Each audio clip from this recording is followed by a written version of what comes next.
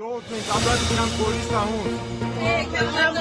Երեկուշ երեկոյան ադրբեջանցիները թույլ չեն տվել շուրջ 3 տասնյակ արցախցիների, այդ թվում երեխաների, կանանց եւ տարեցների ռուս խաղաղապահների ուղեկցությամբ մտնել Ստեփանագերտ։ Արցախի մարդու իրավունքների պաշտպանի փոխանցմամբ որոշ ադրբեջանցիներ նույնիսկ ներխուժել են մեքենաներից մեկը։ Врач нужен.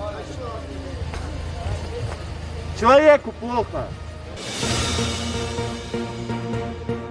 Խորհրդանի խոսնակի եւ դաշնակցականի միջև տեղի ունեցած միջադեպից հետո իշխող ուժը չի քննարկում Ալեն Սիմոնյանի պաշտոնանկության հարցը։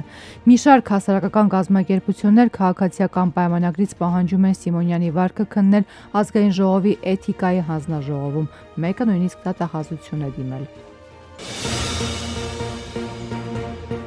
Ռուսաստանն այսօրվանից անորոշ ժամկետով արգելել է հայկական կատնամթերքի մատակարարումը իր շուկա պատճառը ըստ Ռոսեր Խոզնաձորի ստուգումների անբավարար արդյունքներն են։ Հայաստանից հակադարձում են կատնամթերքում առողջությանը սպառնացող որևէ խնդիր չի հայտնաբերվել։